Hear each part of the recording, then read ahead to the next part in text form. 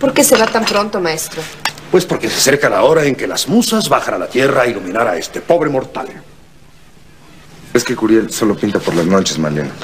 Pinto en las noches porque mis obras se deslizan en los colores, formando uno solo entre penumbras. Mis pinceles danzan a medianoche en el aquelarre convocado por náyades y brujas alrededor de la hoguera encendida por las musas. Solo así pinto.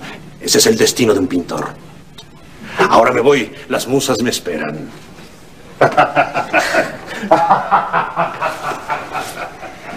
Te juro que nunca había conocido a una persona como el maestro Curiel. No, ni yo, y me siento muy afortunado de ser su amigo. Es una excelente persona. Eso no lo pongo en duda. Aunque me desconcierta su forma tan especial de ver la vida, con tanto desenfado. No sabes cómo lo envidio en este momento. Me gustaría ver la vida como él lo hace. Ay, ¿por qué dices eso? Tú nunca podrías ser como él, aunque quisieras. Sí, lo sé. No es una lástima. No tienes por qué deprimirte tanto porque renunciaste al colegio. Tú mismo me has dicho que la vida está formada por etapas y esta fue una más. Dios mío, Malena, ¿cómo se ve que no me entiendes, caramba? Bueno, me imagino cómo debes sentirte. Ahí está el problema, Malena. Te imaginas cómo me siento, pero no lo sabes. Yo sé que te sientes muy mal, pero te tienes que reponer. Lo único que no tiene remedio es la muerte. Ah, no, sí es facilísimo arreglar las cosas con frases hechas, por Dios. ¿Qué no me entiendes, Malena? Me siento como un pésimo actor interpretando un Quijote en un teatro de cuarta. ¿No te das cuenta? No seas tan injusto contigo mismo. La vida misma, Malena, es la que es injusta. No lo digo porque me siento mal, ¿eh? sino porque esa es la verdad. ¿Tantas ganas tenías de permanecer en la escuela? No, es que no es la escuela en sí misma, por Dios. En el fondo soy aún ese muchacho que un día salió de un rancho a enfrentarse con la incomprensión. Nunca pude nada contra ella hasta que llegué a la casa de piedra. Por primera vez, Malena, creí que llegaría a vencerla. Estaba obteniendo los primeros frutos. No te, la, no te lastimes más. Tenía pensado hablar con los padres de las muchachas, hacerles ver que el problema no está nada más en ellas. ¿Y todo para qué? ¿Sabes qué, Malena? Quiero estar solo, por favor. Déjame solo, ¿sí?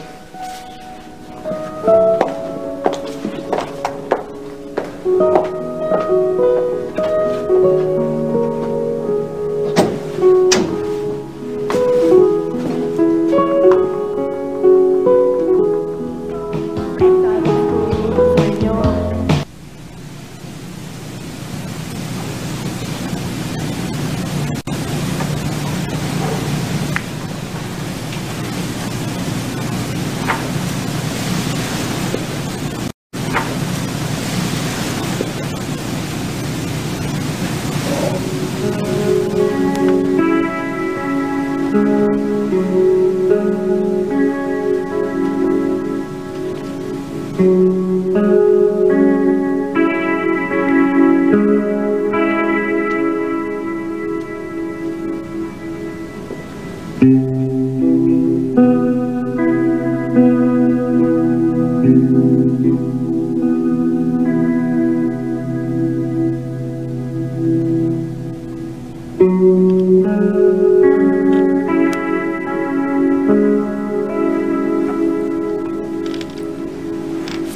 fría. Tu diario lo tengo en mi casa. Digo, si eso es lo que estás buscando.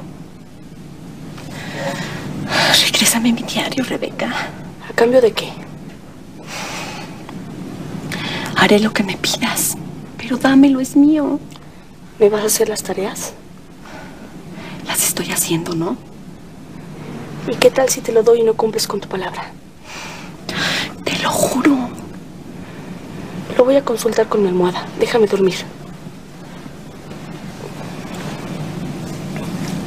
Oye, Rebeca. ¿Me vas a invitar a tu fiesta? Ay, no lo sé. Vete de aquí. Déjame en paz. Psst, psst. Oye, tengo sed. No me mires así, idiota. Ve y tráeme un vaso de agua.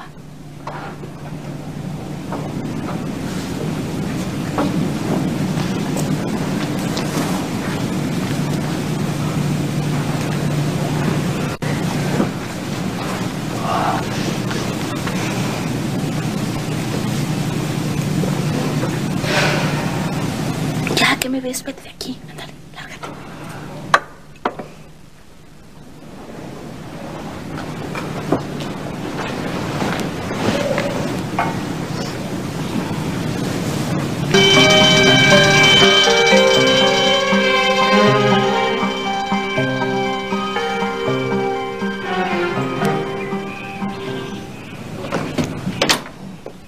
Vamos arriba, vamos. Tienen 20 minutos.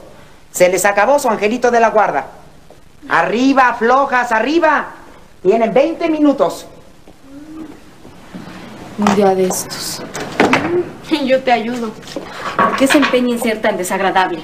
No se empeña. Nació desagradable. Sí, más bien. Ya párense, flojas. Yo no tengo ganas de ir a clase. Ay, hoy es viernes. Pues aunque fuera lunes. Oye, ¿no te gustaría ir a la fiesta de Rebeca? ¿Yo? Ni loca. Va a ser un fiestón. Sí. Sí, pues que le aproveche. Oye, Silvia, y dime, ¿tú vas a ir? No me ha invitado. Además no tengo ganas de nada. Oye, ¿será que de veras está enamorada de Enrique? La enamorada es Lucero. También. Bonito triángulo pasional.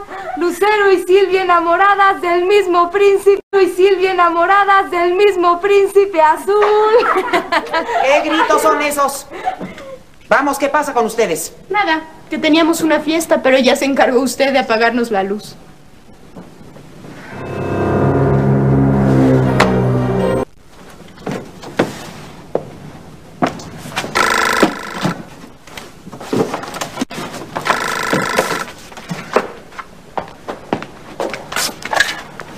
Diga, ¿el ingeniero Sandoval? ¿A qué hora? Sí, está bien. ¿Me da la dirección, por favor?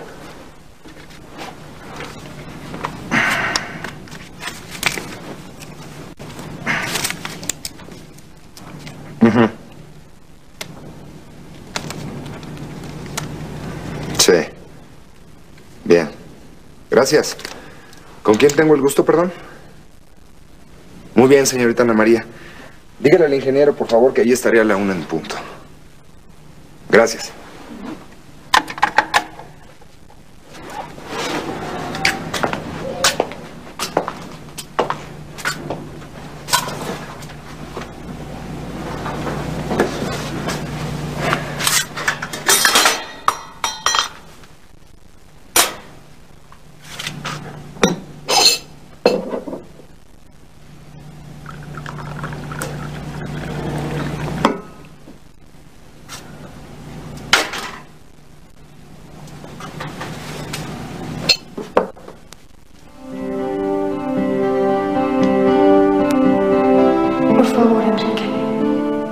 Dime que no te irás.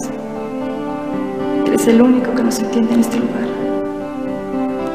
Te prometo que si te quedas, haré lo que sea necesario para no causarte más problemas. Por favor, no te vayas.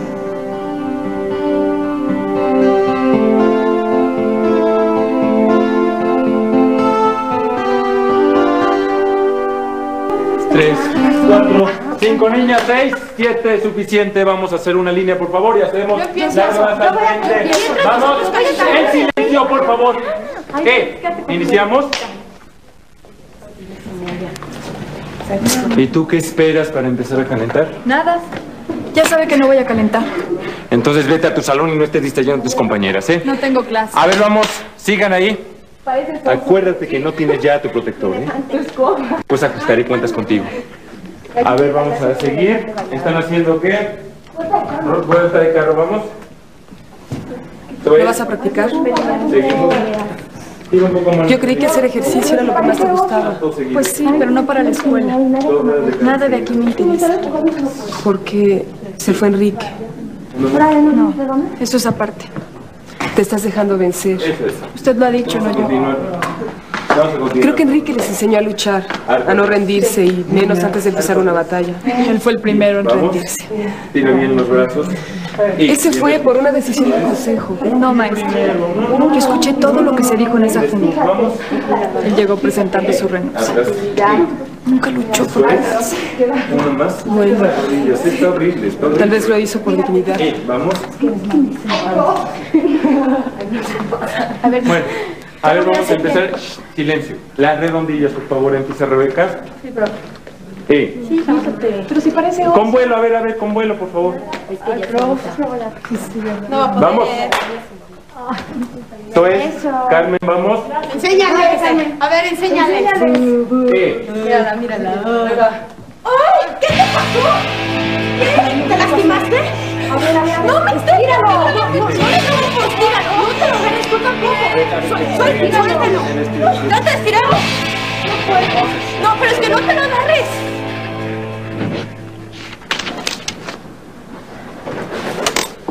Buenas tardes.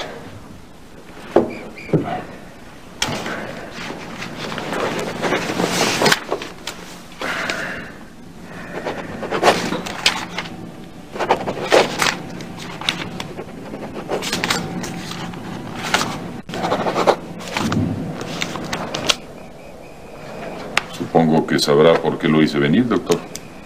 No, realmente no lo sé. Me sorprendió la llamada de su secretaria. Quiero que hablemos sobre mi hija.